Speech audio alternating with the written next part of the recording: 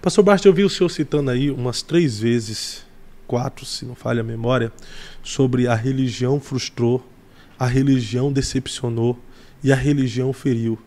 O senhor acha mesmo que a religião fere, frustra e decepciona as pessoas? Eu fiquei 10 anos da minha vida trabalhando em bate viadutos, tentando resgatar pessoas, da mais da sociedade. O último culto que eu fiz de bate viaduto tinha 36 pessoas, 29 era desviado, filho de crente. Você encontra um morador de rua, pergunta o nome dele. É Moisés, Tiago, Pedro, João. Por quê? Porque eles, eles, eles ficaram revoltados com o sistema da religião. Por quê? Porque eles, em busca de um Deus perfeito, eles encontraram a religião imperfeita e pessoas que deveria reconhecer os seus erros, mas arrotaram a santidade. A hipocrisia é a maior assassina dentro do sistema religioso. Não é a transferência de culpa do pastor. Quem tem paternidade dentro de casa, tem um sacerdote dentro de casa, um pai sacerdote, um esposo sacerdote. O mundo pode estar quebrando o pau lá fora. A casa é o ponto de apoio. Por isso, meus filhos foram foro espiritual meu.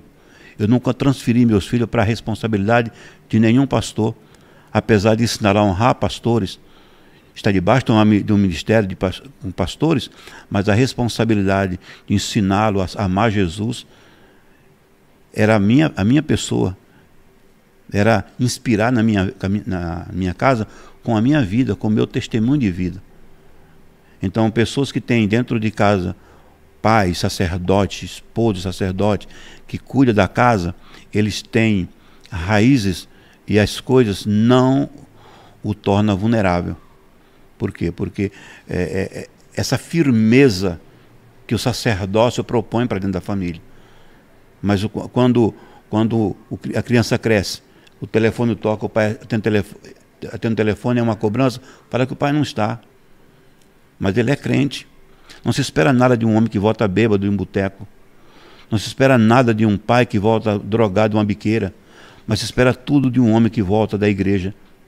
E um filho que vê um pai voltando do culto, sendo mau testemunho, ele mata a sua posteridade com a sua hipocrisia. Vale um uau, uau. E equipe? Uau! Sensacional, pastor Barsi. Interessante. Mas de que forma a religião fere, decepciona e frustra as pessoas? A religião, quando eu falo, é por primeiro, Jesus não tem uma religião, ele trouxe um reino. Ele disse: o meu reino é chegado. É vindo o meu reino. Esse reino nos confronta a ser transformado dia após dia. A religião é uma competitividade. Perguntaram para mim um dia qual a religião boa. Eu falei, todas são. Ela centra a pessoa. Aí me perguntaram qual a religião ruim. Eu falei, todas. Ele falou, como assim? Eu falei, antes de conhecer Jesus, toda religião é boa. E depois de conhecê-lo, nada mais serve. Uau, sensacional, pastor Bart.